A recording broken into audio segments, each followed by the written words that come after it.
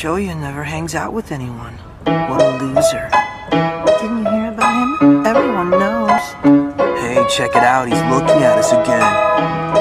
We're total freak.